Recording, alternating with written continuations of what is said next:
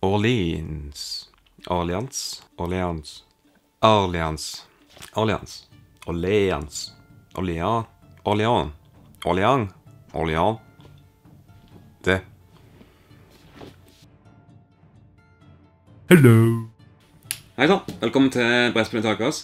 Dette er en videoserie hvor jeg tar for meg brettspill og kortspill, forteller om hva de handler om, og hva jeg syns om de, om de kan være gode for det. Denne gangen så er det spillet Orleans Orleans Orleans Ikke vet jeg. Men det er iallfall det spillet her, som står sånn, med sånn eh, apostrof over e-en min, akkurat som navnet mitt. Eh, Og her så skal du da sende ut arbeidere for å eh, ja, ekspandere territoriet ditt, skaffe deg nye arbeidere, skaffe deg teknologi for å gjøre det lettere å gjøre arbeidet ditt, og bygge deg ut, og rett og slett få mest poeng. Men hvordan gjør man det? Hver spiller får et sånt brett, og på brettet her så har du mange sirkler med masse farger på. Og det vil si at de fargene her det viser hvilke type arbeidere som kan gå dit. Så for å gjøre den handlingen her, så må man ha en hvit, og en blå og en brun arbeider. Enkelt nok. Så det er akkurat sammen på alle de andre. Du trenger bare den samlingen av arbeidere for å aktivere handlingen. Du kan bruke skip til å gå langs elvene i kartet her. Du ser det er veier og elver, så hvis bare tar skip, så kan jeg reise dit. På reisen så tar vi med en av disse varene som ligger der. Eller med vogn, så kan jeg reise over hit og booke med den, for eksempel.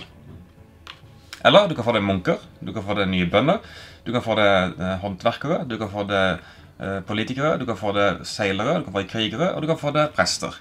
Det er de andre typer ben du kan få det. Hver spiller begynner med fire arbeidere, og de ser sånn ut. De har da markert min farge som er grønn. I tillegg så har du en bakgrunnsfarge. Men for å bruke arbeiderne mine, så må jeg legge disse fire oppi posen sammen med eventuelt andre arbeidere har. På min tur så trekker jeg ut x antall arbeidere, avhengig av hvor langt jeg kommer på en viss skala. Så nå er det fire. Så nå fikk jeg fire arbeidere, og dette er de arbeiderne har jobbe med denne runden. Og da kan jeg plassere de akkurat som jeg vil på brettet mitt. Og det er ikke sikkert jeg får brukt det i denne runden, men jeg kan spare litt senere for fremtidige runder. Etter hvert som jeg stiger gradene, så får jeg mer og mer arbeidere tilgjengelig. Så nå skal jeg trekke da syv stykk fra posen. Én, to, tre, fire, fem, seks og syv. Sånn. Så nå kan jeg plassere de akkurat som jeg vil. Munkene er veldig nyttige, for de fungerer som en joker. De kan brukes som hva som helst. Så hva har jeg lyst til å gjøre for noe? Det er helt opp til meg. Men du ser, det er syv stykk her, og det er veldig mange brikker her som det er plass til. Så jeg får jo ikke brukt alle handlingene jeg vil. Derfor kan det være greit å bruke teknologi. Så hver gang jeg trekker en brun eh, arbeider, så får jeg med teknologi. Og en sånn markør de ligger da permanent på en eller annen plass. Hvis jeg legger den der, så vil den alltid være dekka. Det behovet der vil alltid dekke resten av spillet. Jeg kan ikke flytte på den senere, men jo flere sånne markører jeg har rundt omkring, jo lettere er det for meg å gjøre handlingene mine. Og det er veldig greit å ha sånne markører her. Og det vil være konkurranse om de. Fordi alle ressursene du ser her, de er begrensa. Så hvis det går tomt for noe, så kan du ikke gjøre en handling mer. Du får ikke lov. Så hvis det går tomt for en brikke, så kan du ikke få den brikken mer, og da kan du heller ikke gjøre en handling. Så du har kanskje låst noen arbeidere hos deg. Så det er, det er veldig mye å passe på sånn sett, men det er også veldig åpent. På min tur så kan jeg gjøre alt det her. Og egentlig, du trenger ikke å vente på tur til de andre spillerne heller. Alle kan gjøre det samtidig og sette ut arbeiderne sine. Eh, fordi det er ikke alltid så viktig med rekkefølge. Men hvis det spørsmål om rekkefølge, så sier du bare fra OK, nå vil jeg vente på rekkefølge her. Og det er alltid den som har skjoldet, som går først. Så vet jeg at OK, jeg har lyst til å bygge en by der, men jeg ser at han kan bygge en by. Så jeg vil se hva han gjør først, før jeg gjør mitt. Så det er fullt mulig å stoppe spillet og si nå gjør vi det rekkefølge, men ellers er det bare å legge ut akkurat sånn som du føler for. Fordi det er ikke så veldig mye interaksjon annet enn selve kartet. Og det er veldig gøy å kunne spille spillet her. Det går veldig fort. Spillet går på 18 runder, og det høres veldig mye ut, men det går utrolig kjapt unna. Så, hvordan vinner du spillet? Jo, du må selvfølgelig ha mest poeng. Veldig typisk sånne spill. Her har du en veldig fin brikke som viser hva du får poeng for. Du får poeng for alle varene, handelsvarer. Men til slutten her så ser du at du får poeng for en figur pluss antall hus gangen en stjerne. Og det er liksom en helt annen måte å gå fram på i hva du har lyst til å gjøre i spillet. Du har et mål i spillet, og det er jo selvfølgelig for mest poeng, men hvordan du går fram, det er litt opp til det. Uh, turene går veldig kjapt, fordi du trekker opp uh, arbeidere fra posen, og det er disse arbeiderne du har jobbet med denne turen. Så hvis, uh, du kan ikke planlegge altfor mye framover, for det, det, dette er det du har. Gjør, med, gjør, det du kan med disse. Handlingene er veldig spesielle i spillet her. Du har veldig enkelt uh, måte å gjøre det på. Det er bare å aktivere en handling, og så velger du en type arbeider. Hver arbeider gir deg en bonus. Eksempel en bonde han gir deg en handelsvare som du trenger for de forskjellige plagene. Hver runde så skjer det en hendelse. Det kan være en plage, det kan være at du får uh, inntekt, det kan være andre ting. Og du må alltid være forberedt på å, å kunne betale eventuell skatt eller mat eller noe sånt. Så derfor er det veldig greit å kunne ha mat med bøndene, f.eks. Og de hvite arbeiderne brukes veldig generelt også, så det er veldig fint å ha. De brune arbeiderne er veldig fine. De gir en permanent markør som ligger der for å gjøre at det blir lettere å gjøre en handling seinere. Sånn, du reduserer antallet arbeidere som er behov for. De er også veldig fine å ha.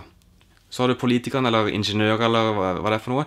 Og de kan da gi deg lov til å bygge hus og få utvide eh, området ditt med nye egenskaper. Og husene er veldig nyttige, de også. De gir deg eh, sterkere handlinger enn det som allerede er på brettet. Altså, de er alltid veldig greit å komme først til de bygningene som du har lyst på, og, utnytte de som du har kjøpt veldig mye. Det er også veldig godt. Og Hvis du trenger penger, så er sjømann. Da er det bare å ta en sjømann og ta penger av det òg. Hvis du kommer helt til enden av skalaen, så får du en ny mann som hjelper deg i sluttskåringa. Og krigere er også veldig kjekt å ha, selvfølgelig. For det, jo flere eh, arbeidere du trekker på posen, jo lettere er det å gjøre ting. ikke sant? Så det er jo selvforklarende. Den siste skalaen er litt spesiell. Det er den religiøse skalaen.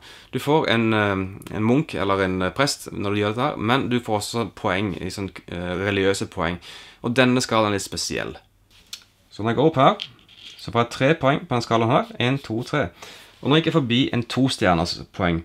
Og hvis jeg går her, så får jeg tre penger. Men i slutten av spillet, som du så, så er det en stjerne gange hus pluss folk. Så antall hus her og antall de, summerer de og ganger det med det tallet som har gått forbi. Dette er da en bonuspoeng for i tillegg, og det er jo helt opp til seks poeng, så du kan få veldig mye poeng i den siste fasen her. Men etter hvert så vil du få litt for mange arbeidere. Du har gjort ferdig den ene handlinga du har lyst, og den arbeideren dukker opp igjen som du ikke har bruk for. Det finnes en løsning. På dette skjemaet her så kan du sende av gårde arbeidere, og de forsvinner fra spillet. Så kan du legge en kriger her. Da får du en penge. Det høres ikke så veldig bra ut, men det er veldig greit å ha kontroll på innholdet i posen din. For hvis du har altfor mye i posen, så mister du kontrollen på hva du kommer til å trekke. I tillegg, den som legger den siste brikken på hvert område, får da en sånn figur. Og det er jo veldig nyttig, det også. Så timingen på dette her er veldig viktig å få med seg hvis du går for å få disse figurene her. Du ser det er forskjellige belønninger også, avhengig av hvor du går.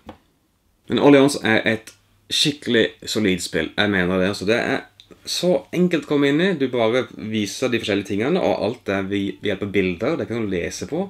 Og du kommer så lett inn i spillet. Ja, det er ikke så lett å vite hva du skal gjøre i begynnelsen, men ofte er det bare å ta en kriger, for da får du flere fra posen din. Men etter sånn spiller så ser du at å ja, ok, det er sånn det henger sammen. Så første gangen så vil du etter hvert, etter du er halvveis i spillet, så merker du at ok, jeg burde gjort noe annet i begynnelsen. Eller noe sånt. Så det er veldig mye å tenke på i løpet av spillet. her. Det er mye for å sabotere for andre spillere og komme i veien for dem. For det er veldig stor krangel på de ressursene siden det er begrensa. Så å være først til noe, det kan være veldig viktig. Så turrekkefølgen kan ha noe å si etter hvert, men ofte så går spillet unna veldig kjapt, og du tenker ikke så veldig mye på de andre spillerne, med mindre du går på kart. Da er det veldig viktig å følge med på de andre spillerne, hva de kommer til å gjøre, og hvilken vei de kommer til å gå. Spillet har så mye å tilby at uh, ja, jeg kan bare si at det her er en ren anbefaling. Det ble jo nominert til årets spill. Så det er ikke så rart det. Det er et veldig solid spill. Det er skikkelig bra, med ordentlig tøffe, tykke komponenter. Og noen har da oppgradert det til enda et nivå igjen, som er enda mer fantastisk. Men spillet seg sjøl i denne boksen her, det er absolutt en anbefaling for meg. Og det funker fint med mange spillere også. Så ikke spille fem, da får du litt for mye, men da må du kjøpe en utvidelse også for fem, så trenger ikke det. Men eh, All i on, veldig bra spill. Det er skikkelig fint spill for både to, og tre og fire spillere, så det er absolutt en anbefaling fra min side.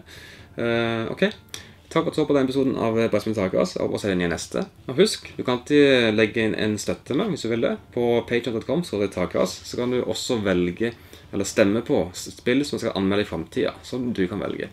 Og takk til Gameson, som har sponset meg med all i år. de leverer veldig kjapt, så sjekk ut det. Jeg er veldig fornøyd med de. Så OK. Takk for nå.